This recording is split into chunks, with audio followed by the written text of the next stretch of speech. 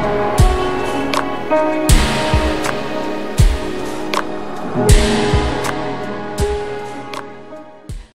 everybody, welcome back to my channel. Today I'm going to show you Penticton, BC.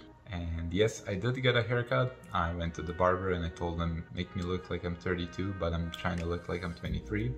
And he uh, did a pretty good job. Awesome. Penticton is not so big, around 33,000 people live there. It's nestled between two lakes, the Okanagan Lake in the north, which is way bigger than the Skaha Lake on the south. Skaha Lake used to be known as Dog Lake. I didn't see any dogs. The beach at Skaha Lake Park is great. There's like fine sand. I wouldn't call it Hawaii, uh, but it's nice. It's nice. I don't recommend taking really young kids to the lake though because of the sand and cleaning after made that mistake. So, but Louis loved it. Louis had lots of fun. Um, after the lake, we went on to the mountain nearby. It's called Munson Mountain, and then we went back downtown and took a little stroll, took a bite to eat. That was pretty much it.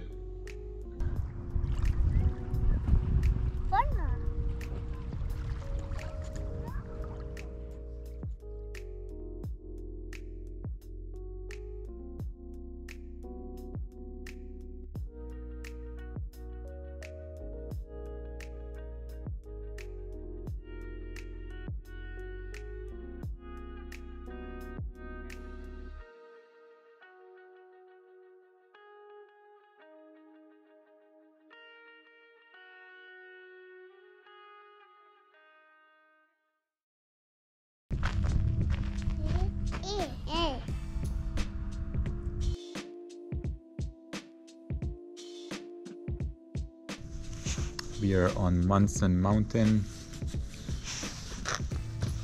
and this is the view.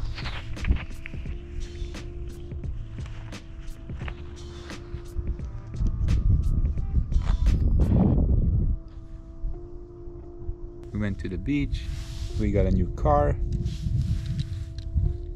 So fun times. There's a sign over there, kind of like the Hollywood sign says Penticton.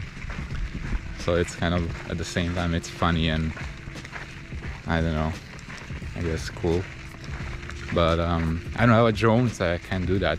Can't film that unless I jump over it somehow. You don't like the hat? But you gotta have the hat, man.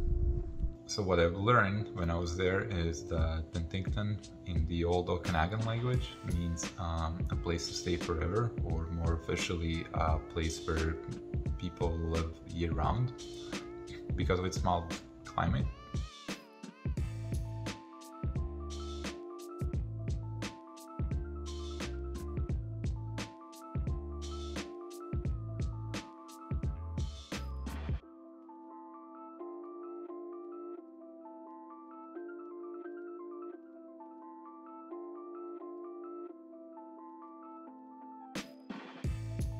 when Louis fell asleep, I took us to Bad Tattoo Brewing, which was recommended to me by a bunch of people.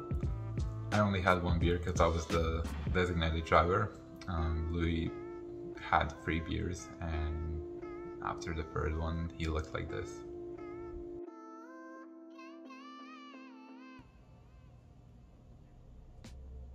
Thank you for watching. Hope we go on more adventures soon and uh, have a great week.